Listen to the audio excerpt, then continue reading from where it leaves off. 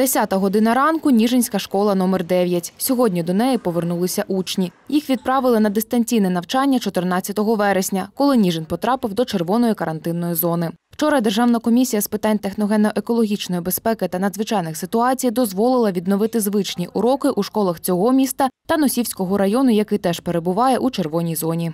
Е, Все поки що нормально, школа працює, дезінфікуючі засоби ще раз використовуються учнями, всі е, вчителі у е, масках.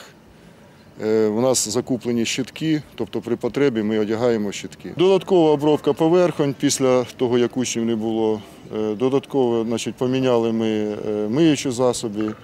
Тобто все підготували для того, щоб учні спокійно могли працювати у тако- таких умовах. У школі постійно проводять вологе прибирання та дезінфекцію, каже Володимир Рибак. У вчителів щодня перед початком роботи вимірюють температуру. А для дітей, щоб вони менше контактували, розробили маршрути коридорами школи, визначили, які класи на яких поверхах навчаються, а також відкрили всі входи.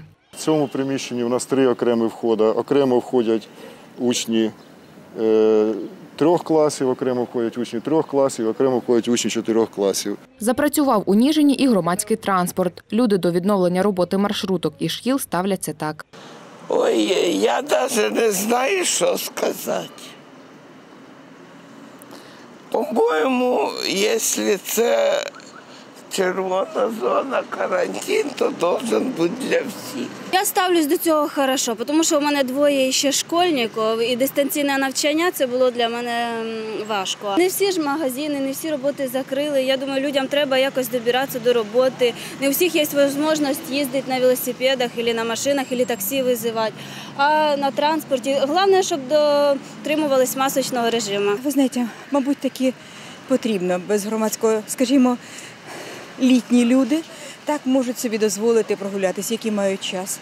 А якщо не мають час, скажімо, ті ж вчителі, яким чином вони зможуть дістатися до школи? Почали сьогодні курсувати і приміські, і міжобласні маршрути. Ольга Савельєва щодня їздить на роботу до села за 20 кілометрів від Ніжина. Автостопом добиралися, добиралися чим, чим вийде.